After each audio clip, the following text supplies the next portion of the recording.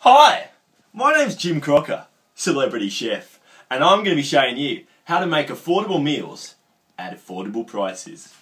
For my first meal, what you're going to need is a tin of what I like to call baked beans. Now, if you can't find baked beans, not to worry, because you can always use, you know, spaghetti hoops or any any kind of tin spaghetti in tomato sauce. Oh, I need a pan. Um, which one? Anyone? Ah, shit. ah, shit.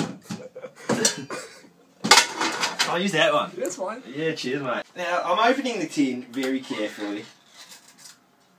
Careful not to cut yourselves, guys. Scoop out the contents of the tin into the pan. Oh, there we go. That looks great, doesn't it, guys? Lovely. Now, kids, if you're watching at home, this is the point where you're going to want to get a parent involved.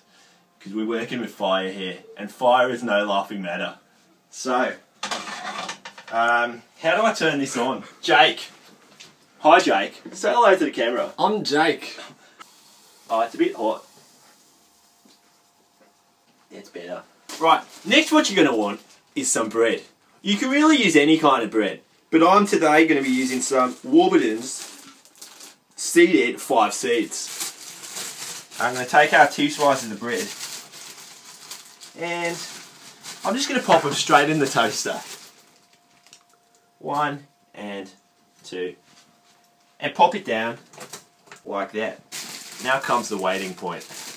Um, yeah. yeah. Have you got any spoons, mate? Yeah, left Yeah. drawer. Now, whilst you're waiting for the toast to cook, you can keep an eye on your beans. Give them a little stir every now and then. You know, just to make sure they don't burn. Because that's the last thing you want. Burnt beans, no thanks. I'm going to turn it up a little bit because I don't like waiting. And what's great about beans is you can just, you know, there's, there's really no wrong way to do them. You can just, you just put them in the pan and you cook it. I'm just going to go check on the toast now and see if it's done.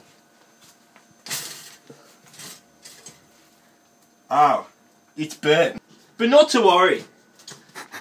Because in a situation like this, what you've got to do is grab hold of a bottle of tomato ketchup and really you just want to sort of smother it all over, you know.